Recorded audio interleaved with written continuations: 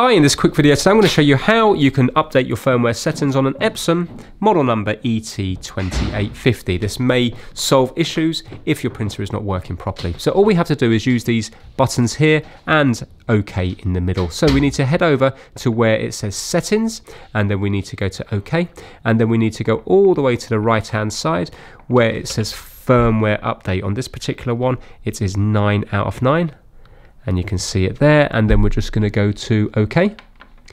And we have the option to update so again I'm just going to go to OK.